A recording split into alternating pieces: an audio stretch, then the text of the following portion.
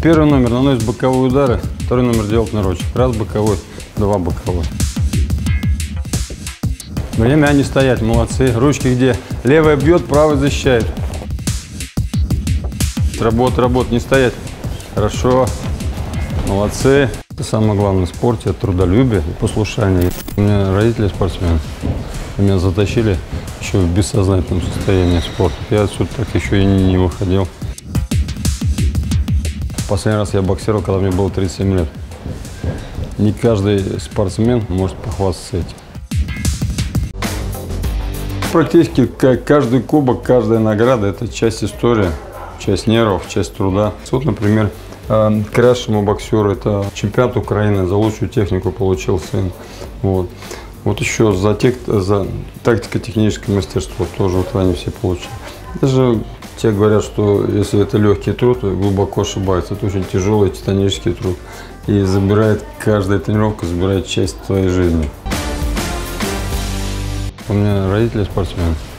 Меня затащили еще в бессознательном состоянии спорта. Я отсюда так еще и не выходил.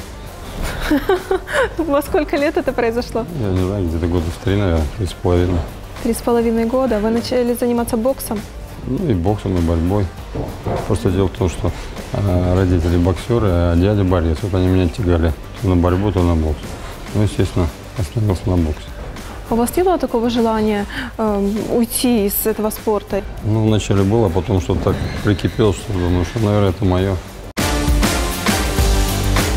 Да-да, не стоять, не стоять. Двигаться, двигаться, двигаться, двигаться, двигаться. Вот, ручки где? Сева, смотрите, куда надо. Молодцы, хорошо. Не, не, чисти, не чисти. Не чистить. Молодцы. Первый мой воспитанник – это серебряный призер Олимпийских игр Сергей Доценко. Из 10, которых 10 лет он занимался боксом, 7 лет мирового Второй известный воспитанник – это Александр Усик, который пришел в 2001 году, которого никто не брал, потому что ну, уже поздновато было, почти 15 лет. Тоже у меня 7 лет занимался. При мне стал мастером спорта международного класса лучшим боксером страны. Ахмедов Батаржон, мастер спорта международного класса. Пятое место на Олимпийских играх в Рио-де-Жанейро. Вот это три олимпийца. Плюс мастер спорта международного класса, сын мой. А, мастер спорта, а, а, другой сын, Лапин Даниэль, мастер спорта России и Украины. Мастер спорта России, мастер спорта Украины. Зиединов Артур, мастер спорта Ханов. Да их перечислять очень много-много.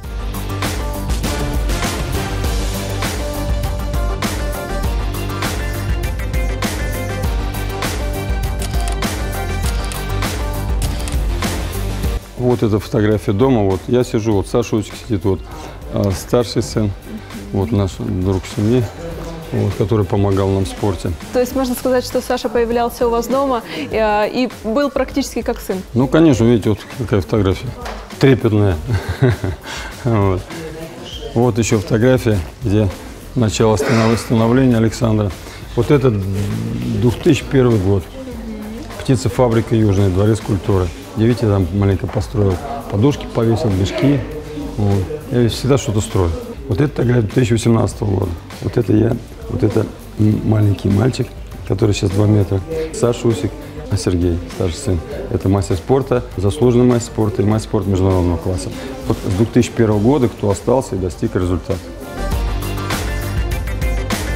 Ручки где? Плечики расслаблены, спина работает. Вот спиночка работает, хорошо. Не бегать по кругу. Обрезать здесь, здесь, здесь, здесь. Обрезать угол.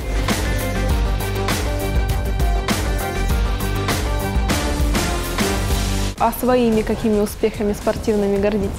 Ну, в спорте так сильно не прославился, потому что меня преследовали практически одни невезения. То травма ноги, то травма руки. Вот. Одну руку пять раз ломал. Невезение было. Поэтому далеко не пошел за этих травм. Вот сейчас стараюсь все это воплотить в своих воспитанниках.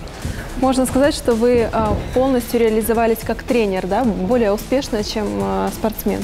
Да, ну я думаю, что если бы травм было меньше, то я думаю, что и как спортсмен, потому что последний раз я боксировал, когда мне было 37 лет. Не каждый спортсмен может похвастаться этим. Провел 7 боев, я, я работал в Польше и боксировал в лиге, в польской лиге. 7 боев провел. Ну, из этих 7 боев я три выиграл, один ничья и три проиграл. Мне нравится заниматься боксом, потому что это мужество. Я смогу постоять за свою семью, за себя.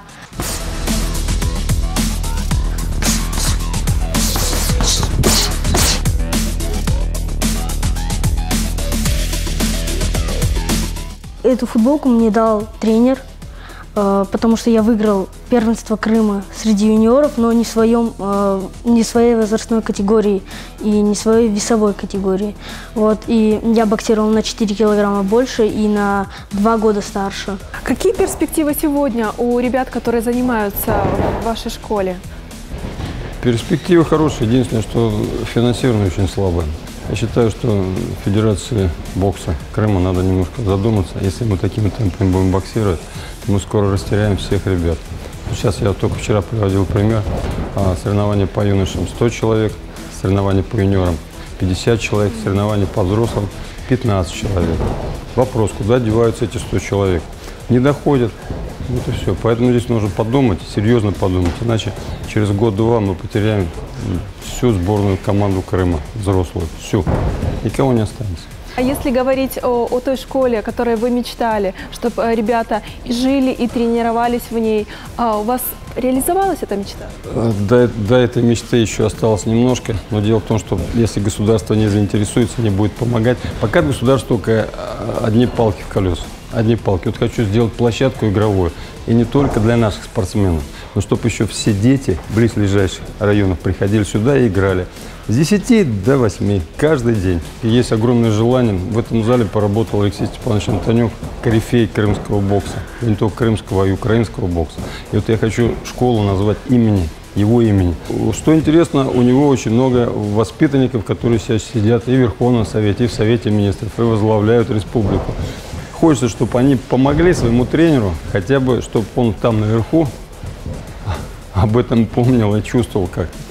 И назвать школу, взять, купить, сделать мемориальную доску, назвать школу его именем. Я чувствую, что человек достоин, достоин. Сколько он воспитал классных мастеров спорта. Вот. Так что о чем-то это говорит. Сын, знаю, что один так точно продолжил ваше спортивное дело. А Сегодня вы довольны его результатами? Да, они оба продолжим мое дело. Первый закончил физвоз и работает тренером. Второй вот в этом году заканчивает и тоже будет работать тренером. Я думаю, что, ну, ну, я думаю, что у них пойдет дело. Они сегодня еще принимают участие в соревнованиях, а, боксируют, э, Да, да, в спаррингах. Старший, я думаю, сейчас будет переходить в профессионалы, а младший будет боксировать. Ему еще 22 года. Он сейчас э, в новую категорию, 81 килограмм перебрался. Рост 2 метра, так что ему как раз позволяет и рост, и вес.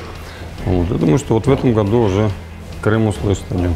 А Сегодня вот эти вот э, молодые парни, они м, как-то отличаются от тех, которых вы воспитывали раньше? С каждым годом молодежь все ленивее и ленивее, потому что во все виноваты это компьютерные игры. Они вот, посмотришь каждые три секунды на чем-то, то на телефоне, то еще где-то, чтобы поиграть. Поэтому я вот не сторонник этих вещей, я сторонник нормального спорта, нормальных прогулок, нормального спорта, и меньше вот эти все компьютеры, потому что забивают голову и дают ребенку мыслить. Ребенок должен мыслить. Если он перестает мыслить, а только вот он по- повержен этим кнопкам, все, он становится роботом. Какие у вас еще задачи спортивные? Что вы хотите реализовать, э, чего достичь? Ну, реализовать вначале, завершить э, переделку зала уже полностью, чтобы действительно работать на- в нормальных условиях, потому что, приходя в зал и видя разруху, работать невозможно. В зал надо приходить как домой. Вот ты пришел и живешь залом, потому что это твой дом. И детей я приучил. Пришли, ребятки, не сорить, не мусорить. А, Это ваш зал, это ваш дом. Вот поэтому они приходят и тренируются. А как вы видите талантливых ребят, которые э, будут э, в дальнейшем успешные спортсмены? Думаю, что это просто какой-то нюх своеобразный. Вот когда еще был доценко, я говорил, что это будущий чемпион, не верили, смеялись. Когда говорил Саша Уцкий, будущий чемпион, смеялись. Ахмедов смеялись, другие ребята смеялись. А в итоге все получается так, как оно есть.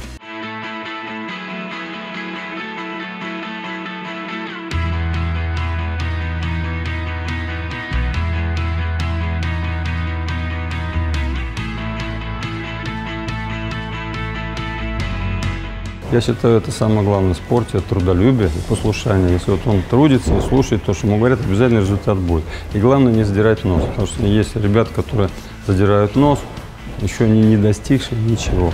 Но уже я звезда, я звезда. Потом эта звездочка гаснет, и больше мы ее не видим нигде. Сегодня вы часто встречаетесь со своими успешными и знаменитыми уже боксерами? Ну, дело в том, что Саша сейчас на Украине, он здесь не появляется. Вот был только летом последний раз и все. Вот, э, Сергей делами занят, а Ахмедов Батыржон каждый день в зале. Он сейчас в профессионалах, готовится к боям. Он приходит в этом зале, занимается. Вы до сих пор его тренируете? Да, да, да, да. Вот он э, выиграл пояс ВБО интерконтинентальный. Приходил, вот ребята все здесь не фотографировались. Так что рады были несказанно. Navigating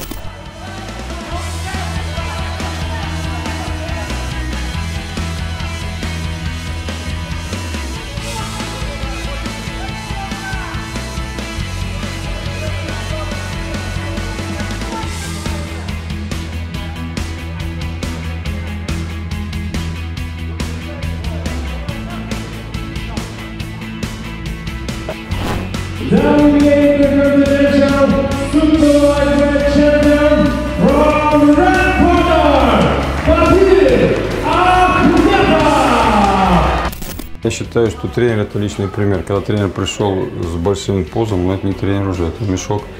Поэтому тренер, в первую очередь, должен следить за собой и показать своим личным примером, что он спортсмен.